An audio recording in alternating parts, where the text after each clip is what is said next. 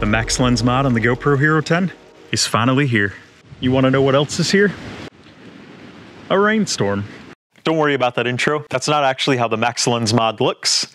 That's just me popping on the lens without it in Max Lens mod mode so that you can see what it looks like and so that you can see what you don't want to do. When you put that Max Lens mod on, always make sure you're using it in Max Lens mod mode. So the first thing to know right away, this firmware update that enables you to get the Max Lens mod working on the Hero 10, it is beta firmware. Now I know there's that stigma with beta firmware where you may think that means that there's going to be a lot of things that are broken, uh, a lot of bugs in that. I've tested out beta firmware on my GoPros in the past, and I've not had any problems.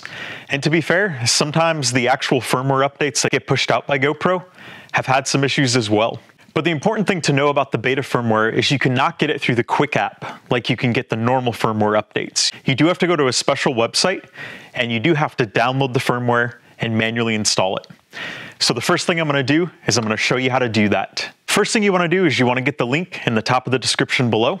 That link will take you directly to the website where you can get the firmware update. Once you're at that website, three paragraphs down, you're gonna see the sentence that says, please download the firmware here.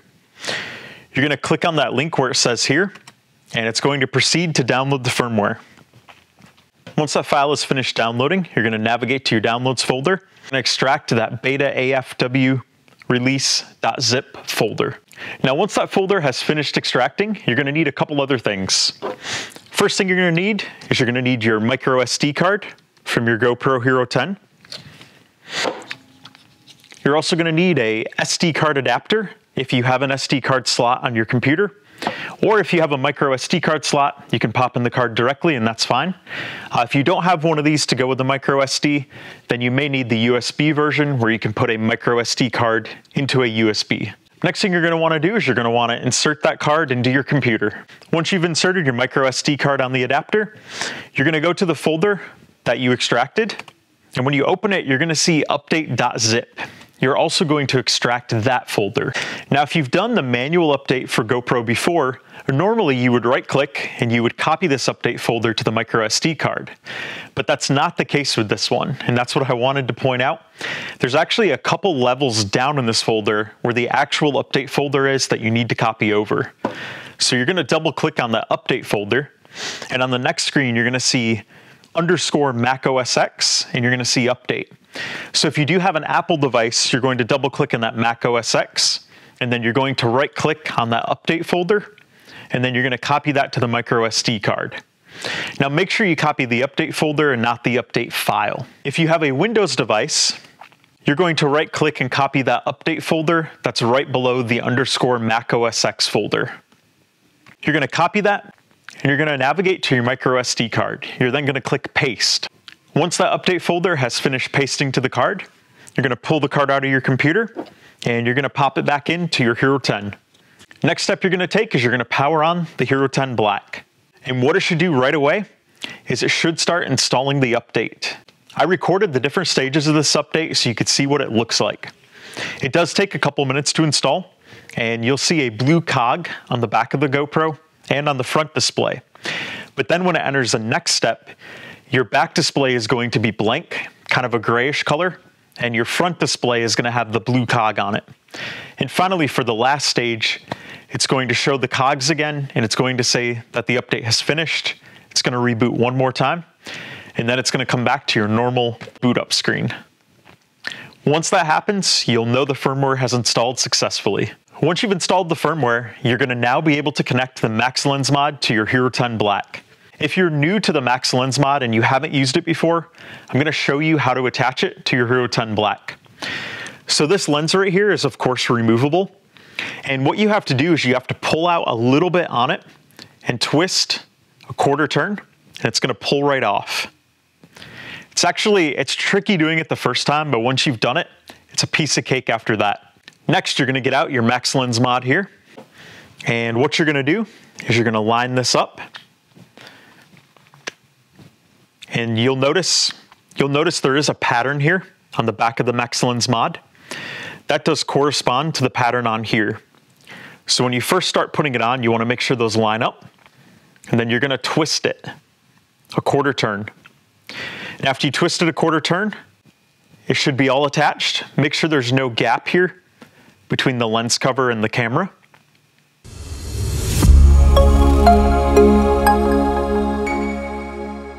So once you've got the Max Lens mod on there, what you can do is you can power on the GoPro.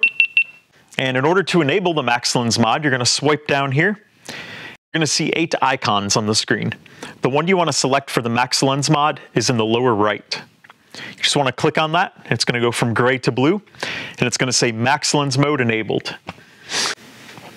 Once you've enabled it, you can click here where it says max video, and it's gonna, of course, max out at 2.7K, 60 frames per second. Once you're into the max video mode here, you're gonna see uh, your normal options here.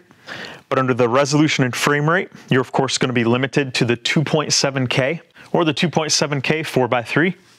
And the highest frame rate you can go in the 2.7K is 60, and the lowest you can go right now is 30. That 24 frames per second is gonna be added later on by GoPro, probably in the December 10th firmware update.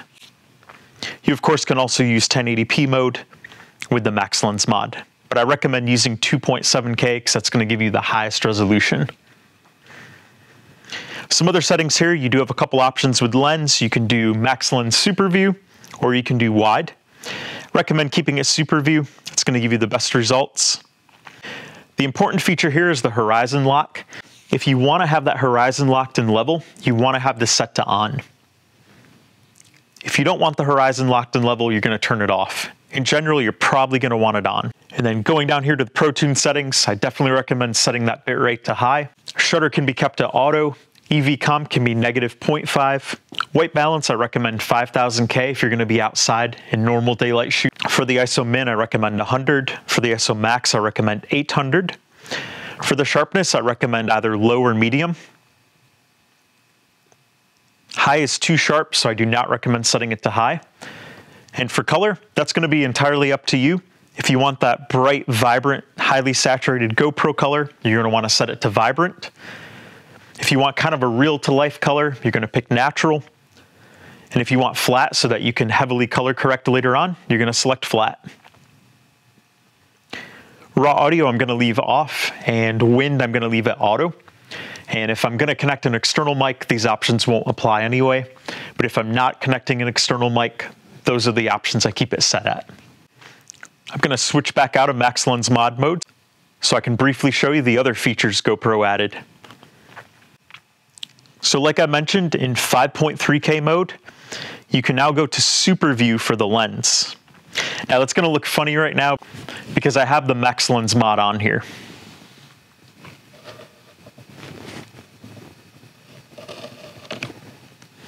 But if I take it off, and put on the normal lens, it's gonna look a lot better.